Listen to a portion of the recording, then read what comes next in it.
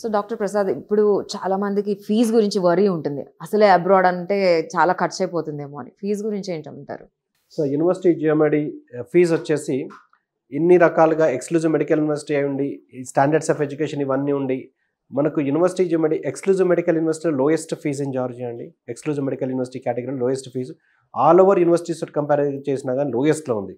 So fee వచ్చేసి five thousand five hundred US dollars per year అంటే ఐదు వేల ఐదు వందల యూఎస్ డాలర్స్ పర్ ఇయర్. టోటల్గా మీకు ఆ ఐదు సంవత్సరాల కోర్సు వన్ ఇయర్ ఇంటర్న్షిప్ కలిపి thirty three thousand US dollars అవుతుంది. సో అంటే మన ఇండియన్ కరెన్సీ ప్రకారము ఒక సెమిస్టర్ పరంగా రెండు లక్షల చిల్లర ఒకవేళ ఇయర్ పరంగా చూసుకుంటే మనకు నాలుగు లక్షల చిల్లర నాలుగు లక్షల plus or minus four lakhs per year ప్రకంగా pay చేసుకుంటూ పోవచ్చు. పర్ ఇయర్కి four lakhs four lakhs plus. Four four to four four lakhs thirty thousand forty thousand something అవుతుంది. సో ఇంకా యూనివర్సిటీ జియోమెడీలో మాత్రమే ఒక ఆప్షన్ ఉంది. అంటే మీకు ఈ టోటల్ ఫీజుని ఏదైతే టూ పార్ట్స్ అంటే టోటల్గా థర్టీ త్రీ థౌసండ్ యూఎస్ డాలర్స్ని సింగిల్ టైం పే చేస్తే సిక్స్ ఇయర్స్కి హాస్టల్ ఫ్రీ ఫ్రీ ఆప్ చేసుకోవచ్చు. సిక్స్ ఇయర్స్కి హాస్టల్కి పే చేయాల్సిన అవసరం లేదు.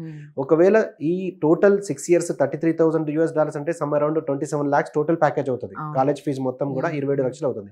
ఈ ఇరవై ఏడు లక్షలని సింగిల్ టైంలో ఎవరైతే పే చేయలేని పక్షంలో ఫిఫ్టీ పర్సెంటేజ్ ఫస్ట్ ఇయర్లో ఫిఫ్టీ పర్సెంటేజ్ ఫోర్త్ ఇయర్ స్టార్టింగ్లో పే చేసినాక కూడా హాస్టల్ ఫ్రీ అవుతుంది. సో ఎందుకు ఇది ఈ మాట చెప్తున్నానంటే చాలా అంటే రెక్టర్ గారితోటి చాలా త్రీ టు ఫైవ్ టైమ్స్ కంటిన్యూగా వాళ్ళతోటి రిప్రజెంటేషన్స్ ఇచ్చి వాళ్ళని కన్విన్స్ చేసి సో ఇది యూరోప్లో వస్తుంది కాబట్టి కాస్ట్ ఆఫ్ లివింగ్ స్టూడెంట్స్కి ఎక్కువ అవుతున్నది కాబట్టి మీరు హాస్టల్ విషయంలో కన్సిడర్ చేయాలంటే మేడం లీస్ట్ కేసెస్ లోపల కన్విన్స్ అయిపోయి ఒకవేళ వాళ్ళు టోటల్ ఫీజు మొత్తం సింగిల్ టైంలో పే చేసినా ఒకవేళ సింగిల్ టైంలో పే చేయలేని పక్షం లోపల fifty percentage of the fees college fees మాత్రమే. కాలేజ్ ఫీజు మాత్రం ఫిఫ్టీ పర్సెంటేజ్ ఫస్ట్ ఇయర్లో ఫిఫ్టీ పర్సెంటేజ్ ఫోర్త్ ఇయర్ స్టార్టింగ్లో పే చేస్తే టోటల్ ఆల్ ఇయర్స్కు హాస్టల్ ఫ్రీ అవుతుందండి. సో అంటే ఇరవై ఏడు ఇరవై ఎనిమిది లక్షలలో కాలేజ్ ఫీజు హాస్టల్ ఫీజు మొత్తం అయిపోతుందండి. ఇంత తక్కువలో ఏ యూనివర్సిటీలో కూడా జార్జియాలో టిబిలిస్లో కానీ జార్జియాలో కానీ ఏ యూనివర్సిటీలో కూడా మీకు ఇంక్లూడింగ్ హాస్టల్ ఇరవై ఏడు నుంచి ఇరవై ఎనిమిది లక్షల్లో అయిపోదు. సో ఇన్ని ఫెసిలిటీస్ ఉన్నాయి. సో ఈ ఫెసిలిటీ మాత్రమే కాకుండా ఇంకా స్పెషల్గా అసలు మీరు ఏంటి భాగ్యలక్ష్మి ఎడ్యుకేషనల్ సర్వీసెస్ నుంచి ఏంటి వాళ్ళకి ఇచ్చే గ్యారంటీ ఏంటి అసలు? సో ఫస్ట్ ఆఫ్ ఆల్ ఒక ఎడ్యుకేషనల్ సర్వీసెస్ నుంచి ఒక రిప్రజెంటేటివ్ నుంచి మెయిన్గా నాకు తెలిసినంత వరకు in case of improving quality of education to succeed in competitive exams and in case of food and accommodation ఈ టూ సర్వీసెస్ మాత్రమే మాలాంటి వాళ్ళ దగ్గర డిపెండ్ అయిన విషయం. ఎందుకంటే క్వాలిటీ ఆఫ్ ఎడ్యుకేషన్ అన్ని విధాలుగా అన్ని విధాలుగా బాగున్న తర్వాత సో వాళ్ళు ఇంటర్నేషనల్ లెవెల్లో కాంపిటేటివ్ ఎగ్జామ్ యూఎస్ కానీ యూకే కానీ కెనడా ఆస్ట్రేలియా న్యూజిలాండ్ లాంటి ఎగ్జామ్స్లో కాంపిటేటివ్ ఎగ్జామ్లో పార్టిసిపేట్ చేయడానికి సక్సీడ్ అవ్వడానికి లీస్ట్ కేసెస్ లోపల మన ఇండియాలో ఎఫ్ఎంజీ ఎగ్జామ్ కానీ ఇప్పుడు రాబోయే నెక్స్ట్ ఎగ్జామ్ కానీ క్వాలిఫై కావడానికి లేకపోతే కాంపిటేటివ్ ఎగ్జామ్స్లో పీజీ సీట్ రావడానికి కావాల్సిన సపోర్ట్ మనకు యూనివర్సిటీ తరపు నుంచి వాళ్ళు ఇంటర్నేషనల్ లెవెల్లో వాళ్ళు ఫ్యాకల్టీని రిక్రూట్ చేయడము. తర్వాత మా తరపు నుంచి మేము ఇండియన్ టాప్ మోస్ట్ ఫ్యాకల్టీని సపోజ్ దీపక్ మారవ్ కావచ్చు ప్రీతి గారు కావచ్చు వీళ్ళ ఇట్లా టాప్ మోస్ట్ ఫ్యాకల్టీని మనము జార్జియాకు జార్జియాకు వెళ్ళి పంపించి జియోమెడిలో ఫస్ట్ ఇయర్ నుంచి ఫైనల్ ఇయర్ వరకు మన national exit test next exam సంబంధించిన కోచింగ్లు టీచింగ్లు మెటీరియల్ ప్రొవైడ్ చేయడం ఇవన్నీ కూడా చేయడం జరుగుతుంది. సో ఎందుకు ఇది ఇది ఇది కావాల్సిన అవసరం అసలు? ఎందుకున్నది ఇవ్వకపోతే ఏమవుతుంది? So already standards of education అక్కడ యూనివర్సిటీ అచీవ్మెంట్లో చాలా బాగుంది. సో మనము దాంతోపాటు సపోర్టివ్గా ఇంటర్నేషనల్ లెవెల్లో యూనివర్సిటీ వాళ్ళు ఇంటర్నేషనల్ ఫ్యాకల్టీని ఇన్వైట్ చేసి వాళ్ళు international level exam competitive exams participate చేయడానికి వాళ్ళు సపోర్ట్ చేసినప్పుడు మేము ఇండియన్ ఫ్యాకల్టీ తోటి మనము ఇండియాలో ఉన్న నెక్స్ట్ ఎగ్జామ్ క్వాలిఫై కావడానికి మనము సపోర్ట్ చేస్తున్నాం. దీని యొక్క ఇంపార్టెన్స్ ఏంటంటే ఇప్పుడు నీట్ ఎగ్జామ్ అనేది eligibility to entry to MBBS అంటే ఓన్లీ అదే నీట్ కోచింగ్ సెంటర్లు నారాయణ కానీ లేకపోతే చైతన్య కానీ. ఆకాష్ కానీ ఎన్నో నీట్ కోచింగ్ సెంటర్లు వచ్చినాయి. ఓన్లీ ఎంబీ ఓన్లీ ఇంటర్మీడియట్ చదివితే సరిపోతుంది కదా. నోటి నీట్ కోచింగ్ ఎందుకు తీసుకుంటున్నారు? అంటే ఎలిజిబిలిటీ ఎంబీబీఎస్ చదవడానికి ఎలిజిబిలిటీ కాంపిటేటివ్ ఎగ్జామ్స్ సీట్ దొరకడానికి కాంపిటేటివ్ ఎగ్జామ్స్ కూడా రెండింటికి కూడా నీట్ ఎగ్జామ్ అంటే entry to MBBS eligibility to entry to MBBS and seat దొరకడానికి కూడా నీట్ ఎగ్జామ్ ఉన్నది. ఎట్ ద సేమ్ టైం ఈ నెక్స్ట్ యొక్క ఇంపార్టెన్స్ కూడా అదే విధంగా ఉంది. ఈ five years of course one year of internship అయిపోయిన తర్వాత eligibility to practice India as well as to get PG admission India రెండింటి కూడా అంటే eligibility test and competitive test అంటే సీట్ దొరకడానికి. నీట్ నెక్స్ట్ ఒకటేసారి పుట్టినాయి. నీట్ అంటే eligibility to entering to MBBS next అంటే ఎగ్జిట్ ఫ్రమ్ ఎంబీబీఎస్ సో ఇప్పుడు మాకున్న అనుభవం ప్రకారం మాకున్న నైన్టీన్ ఇయర్స్ ఆఫ్ అనుభవం ప్రకారం ఇప్పుడు ఏ విధంగానైతే నీట్ కోచింగ్ సెంటర్స్ వెలిసినాయో ఇన్ ఫ్యూచర్లో కూడా నెక్స్ట్ కోచింగ్ సెంటర్. ఖచ్చితంగా వెలుస్తాయి. ఎందుకంటే ఈ టూ ఇయర్ స్టడీకి ఈ లెవెల్లో కోచింగ్లు ఇస్తే.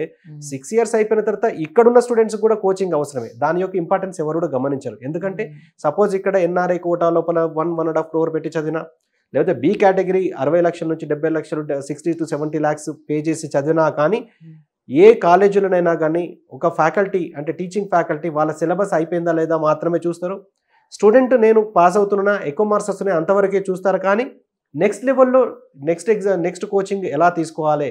ఇంటర్నేషనల్ లెవెల్లో ఎన్ని ప్లాట్ఫామ్స్ ఉన్నాయి? దానికి కావాల్సిన ప్రిపరేషన్స్ ఎక్కడ జరుగుతాయి? అన్న విషయంలో వీటికి కోర్సు మొత్తం అయిపోయే వరకు ఎవరికి కూడా అవగాహన ఉండదు. కాబట్టి ఇంటర్నేషనల్ లెవెల్లో ఎంబీబీఎస్ చదివినప్పుడు ఇంటర్నేషనల్ లెవెల్లో పీజీ చేసే స్కోప్ ఎక్కువ ఉంటుంది. ఇక్కడ ఇక్కడ చదువుతున్న వాళ్ళకి ఆ అవగాహన ఉండకపోవచ్చు. కొంతమందికి ఉండొచ్చు ఉండకపోవచ్చు. కాకపోతే దానికి సంబంధించిన ట్రైనింగ్లు కానీ కోచింగ్లు కానీ ఇటు ఫ్యాకల్టీకి కానీ ఆ అవసరం ఉండకపోవచ్చు. దానివల్ల స్టూడెంట్స్ ఫస్ట్ అటెంప్ట్లో నెక్స్ట్ ఎగ్జామ్ ఇంట్రడ్యూస్ అయ్యి ఇండియన్ స్టూడెంట్స్ ఇంటర్నేషనల్ స్టూడెంట్స్ ఒకసారి అటెండ్ చేసినప్పుడు ఇంటర్నేషనల్ స్టూడెంట్స్కి ఆల్రెడీ హ్యాబిట్ ఉంది. ఎందుకంటే ఎఫ్ఎంజీకి సంబంధించిన ప్రిపరేషన్ జరుగుతుంది కాబట్టి హ్యాబిట్ ఉంది. ఇక్కడ వాళ్ళకి ఆ హ్యాబిట్ లేదు. ఒకసారి ఫెయిల్యూర్ ఎక్కువ మంది అయినప్పుడు దాని యొక్క ఇంపార్టెన్స్ గమనిస్తారు. అదే విధంగా దానికి సంబంధించిన కోచింగ్లు ఇక్కడ స్టార్ట్ అవుతాయి. అది కూడా ఎంబీబీఎస్ అయిపోయిన తర్వాత కోచింగ్ ఇస్తారు కానీ అక్కడ ఎంబీబీఎస్ అబ్రాడ్ విషయంలో ఎస్పెషల్లీ మేము ఎక్కడైతే రిక్రూట్ చేస్తున్నామో జార్జియాలో కానీ జార్జియాలో యూనివర్సిటీ జియోమెల్లో కానీ స్టార్టింగ్ నుంచి మనం ఎఫ్ఎంజీకి సంబంధించిన కోచింగ్లు ఇప్పుడు లేకపోతే నెక్స్ట్కి సంబంధించిన కోచింగ్ కూడా ఇవ్వడము ఇంటర్నేషనల్ సంబంధించిన ప్లాట్ఫామ్స్ లోపల ఏ ఎగ్జామ్స్ ఎలా పార్టిసిపేట్ చేయాలి ఏ ఎగ్జామ్ ఎలా కాంపిటీట్ చేయాలి? ఏ ఏ ఎగ్జామ్ రాస్తే ఎక్కడ మనము పీజీ చేసుకోవడానికి ఆస్కారం ఎక్కువ ఉన్నది అన్న దాని మీద ఫస్ట్ ఇయర్ నుంచే వాళ్ళకు పూర్తి అవగాహన ఉంటుంది. ఇంకోటి ఏంటంటే ఎంబీబీఎస్ ఆల్రెడీ వీరు యూరోప్ వెళ్తున్నారు. సో పీజీకి ఇండియాకి వచ్చి ఏదో ఇండియాలో కాంపిటీషన్ అని ఉండదు. ఎందుకంటే వేరే డెస్టినేషన్స్ ఎన్ని ఉన్నాయనేది వాళ్ళ క్లాస్మేట్ యొక్క ఇన్ఫ్లుయెన్స్ కావచ్చు. వాళ్ళ సీనియర్స్ యొక్క ఇన్ఫ్లుయెన్స్ కావచ్చు ఇంటర్నేషనల్ ఫ్యాకల్టీ యొక్క ఇన్ఫ్లుయెన్స్ కావచ్చు లేకపోతే ఇండియన్ ఫ్యాకల్టీ యొక్క ఇన్ఫ్లుయెన్స్ కావచ్చు. ఇదంతా కూడా అక్కడ ఒక రీసెర్చ్ జరుగుతున్నది. వాట్ నెక్స్ట్ నెక్స్ట్ నా సీనియర్స్ ఏం చేసిండ్రు? నేనేం చేయాలి? ఎక్కడ పీజీ చేయాలి? అన్న దాని మీద పూర్తి అవగాహన అంటే in the sense international exposure international level MBBS చేసిన వాళ్ళకి మాత్రమే ఉంటుంది. ఇండియాలో చదివిన వాళ్ళకు ఉండదు. సో ఇండియాలో చదివిన వాళ్ళు ఎంతసేపు? ఇక్కడ కాంపిటీషన్లో సీట్ వస్తుందా? రాదా. కాంపిటీషన్లో సీట్ రాదు. ఎందుకంటే ఎంబీబీఎస్ కంటే కూడా టెన్ టైమ్స్ హైయెస్ట్ కాంపిటీషన్ ఉంటుంది ఇక్కడ పీజీ సీట్. ఒకవేళ ఎన్ఆర్ఐ సీట్ తీసుకున్నామంటే లాస్ట్ ఇయర్ దాని ప్రకారం మూడు నుంచి నాలుగు కోట్లు ఉంది అందరితోటి ఈజీ కాదు. సో ఇక్కడ ఫ్రీ సీట్ రాదు పేడ్ సీట్ కొనలేము పే చేయలేము. అటువంటిప్పుడు ఇంటర్నేషనల్ లెవెల్ అవగాహన అంటే ఇక్కడ ఉన్న వాళ్ళకు ఉండదు. సో ఆ విధంగా మీరు పీజీ వరకు ప్లాన్ చేసుకుంటే MBBS abroad is the only destination and Europe side వెళ్తే అక్కడ నుంచి యూకేకి వెళ్ళాను ఎందుకంటే ఆల్రెడీ యూకే తర్వాత ఇవన్నీ జర్మనీ తర్వాత యూఎస్ ఇవన్నీ కూడా వెస్టర్న్ సైడ్ అక్కడికి వెళ్ళి మళ్ళీ రిటర్న్ రావాలన్న ఆలోచన ఉండకపోవచ్చు ఫ్యూచర్ కూడా బాగుంటుంది సో. ఫ్యూచర్ కూడా. ఇంటర్నేషనల్ లెవెల్లో పీజీ చేసిన వాళ్ళకు ఇక్కడ ఇండియాలో కూడా రికగ్నేషన్ బాగుంది దానికంటే ఇండియాలో చేసిన పీజీ కంటే కూడా యూఎస్ యూకే కెనడా ఆస్ట్రేలియా న్యూజిలాండ్లో చేసిన పీజీకి ఇక్కడ ఎక్కువ రెస్పాన్స్ ఉన్నది. సో ఆ ఇంటర్నేషనల్ ఎక్స్పోజర్ ఇంటర్నేషనల్ పీజీ మనకు ఇక్కడ ఇంత పే చేయాల్సిన అవసరం లేకుండా ఫ్రీ పీజీ ప్లస్ స్టైఫండ్ కూడా ఉంటుంది. సో ఇవన్నీ అడ్వాంటేజెస్ అన్ని ఇంటర్నేషనల్ లెవెల్ ప్లాట్ఫామ్లో ఎంబీబీఎస్ చేస్తే పూర్తి అవగాహన ఉంటుంది స్టైఫండ్ గురించి మాట్లాడుతున్నాం కదా మనం ఇప్పుడు. సో అక్కడ ఏమైనా స్టైఫండ్ వచ్చే అవకాశం ఉందా స్టూడెంట్స్కి పీజీ లెవెల్లోనా? ఈ యూజీ లెవెల్ ఉంటుంది పీజీలో. మెరిట్ స్కాలర్షిప్స్ ఉంటాయి ఖచ్చితంగా. అండ్ యూజీ లెవెల్లో? యూజీ లెవెల్లో మెరిట్ స్కాలర్షిప్స్ ఖచ్చితంగా ఉంటాయి. సో ఇంటర్నేషనల్ ప్లాట్ఫామ్స్లో కూడా వీళ్ళకి స్టైఫండ్ ఉంది. ఎందుకు. స్టైఫండ్స్ ఉంటాయి? ఫ్రీ పీజీ ఇవ్వడంతో పాటు స్టైఫండ్ ఎందుకు ఇస్తున్నారు అంటే వీళ్ళు already doctors. They will take the services of the doctors and they will pay to you that's it so అక్కడ అదే ఎంబీబీఎస్ అయిపోయిన స్టూడెంట్స్కు వాళ్ళు అక్కడ రిక్రూట్ చేసుకొని వాళ్ళ సాలరీస్ పే చేయాలంటే ఎక్కువ అవుతాయి కాబట్టి వీళ్ళకి పీజీ రూపంలో వీళ్ళ చదువు చే- చదువు ఇవ్వడం రెసిడెన్సీ రూపంలో వాళ్ళు వీళ్ళకి ఇవ్వడం కావచ్చు. లేకపోతే అక్కడ స్టైడ్ ఫండ్ వాళ్ళ ఆ యూనివర్సిటీ వాళ్ళు పే చేయడం కావచ్చు. తర్వాత ఇటువంటి కంట్రీస్లో మనం చేసినప్పుడు పార్ట్ టైం జాబ్ చేసుకోవడానికి కూడా ఎక్కువ స్కోప్ ఉంటుంది కాబట్టి Hmm. ఇవన్నీ కూడా అడ్వాన్స్డ్ కంట్రీ కావచ్చు ఈ పీజీ చేసుకునేటప్పుడు వీళ్ళు పార్ట్ టైం జాబ్ చేసుకొని వాళ్ళది వాళ్ళు ఎన్ని చేసుకోవచ్చు పేరెంట్స్ మీద డిపెండ్ కావాల్సిన అవసరం ఈ ఇండియాలో ఉన్నంత అక్కడ ఉండకపోవచ్చు. They will. Learn they will study over there అది.